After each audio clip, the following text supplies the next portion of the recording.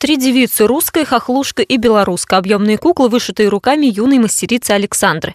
Прежде чем приступить к работе, долго изучала особенности костюмов славянских народов. Это вот отражено в цвете, допустим. Вот э, у украинцев основной, основной цветок, допустим, это красный, а у белорусов это василек синий. Но также на, но на, это отражено в государственной символике. Допустим, у них основные цвета красный и зеленый. Немного наивная и по-детски добрая городецкая роспись. На расписных досках гуляют барышни, растут невиданные цветы. 11-летняя художница Виктория уверяет, что доски волшебные. Все росписи выполнялись своими руками и с особой любовью и теплом. Все эти работы представлены на выставке в рамках восьмых славянских чтений в школе номер 132.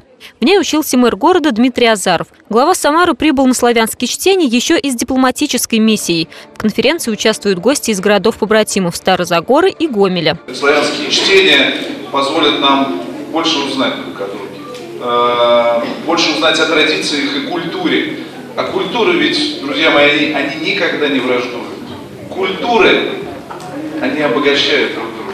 И как раз такие славянские чтения, такие конференции этому, конечно же, способствуют. В школьных коридорах укрепляется дружба славянских народов. Наши славянские чтения – это не только научно-исследовательская конференция, но и э, некая народная дипломатия, которая помогает нам преодолевать те трудности и противоречия, с которыми порой, может быть, не справляется и дипломатия официальная. После открытия началась работа в секциях «Славянская лингвистика», «История», «Этнография». Ученики с 3 по 11 класс готовятся блистать историческими знаниями. Ради проведения восьмых славянских чтений в школе даже отменили уроки. Марина Матвеевична, Мурат Гасанов, ГИС «События».